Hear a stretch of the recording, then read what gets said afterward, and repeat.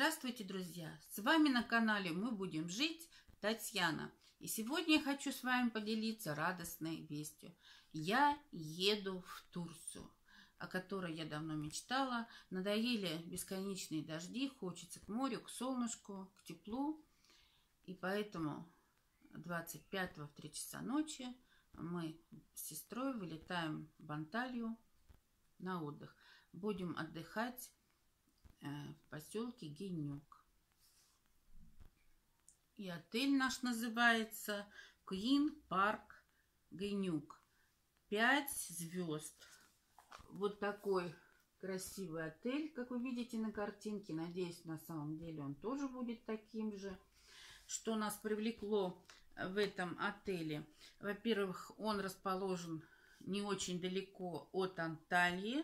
От аэропорта 46 километров и от города 36 километров.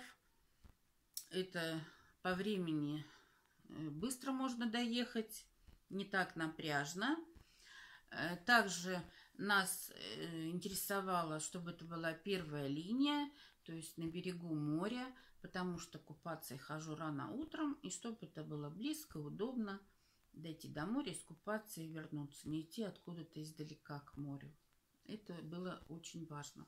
Также еще одним из факторов было э, выбор этого отеля то, что не очень большая территория, 60 квадратных метров, очень большая зеленая территория. То есть летом, э, днем, если будет жарко, э, не обязательно прятаться в номере, а, а можно погулять под тенью зелени, подышать морским воздухом.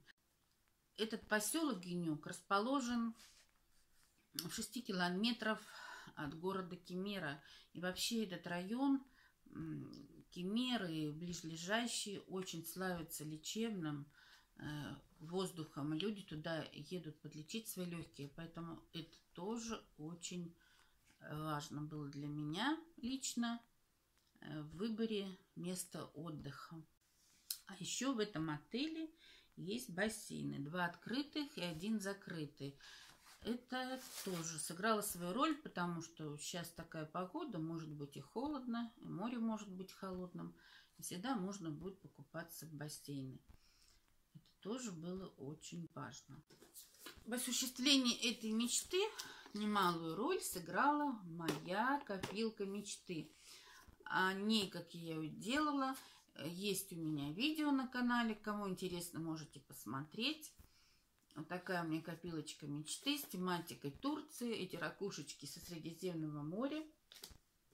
Я собирала деньги. Думаю, там уже приличная э, сумма денег, собранная за год. И будет хорошим подспорьем мне для отдыха. Тяжеленькая. И так вот видно, что она наполненная. Вот так незаметно, потихонечку я накопила, думаю, там хорошая сумма денег. Ну, немножко волнует погода. Будем надеяться, что нас погода не подведет, порадует.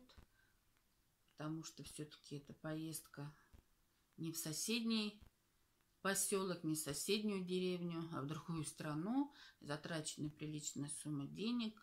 Поэтому хочется, чтобы это все себя оправдало и чтобы остались только хорошие впечатления.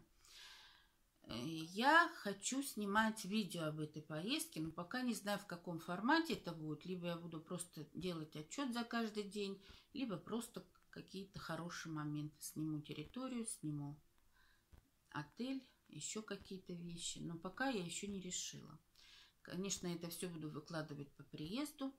Так что ждите моих новых видео. Пожелайте мне легкого полета, легкого взлета, легкой посадки и хорошего отдыха, чтобы я привезла вам много новых впечатлений и осталась довольна своим отдыхом. Ну а на сегодня все. До свидания. Ставьте лайки, подписывайтесь на мой канал.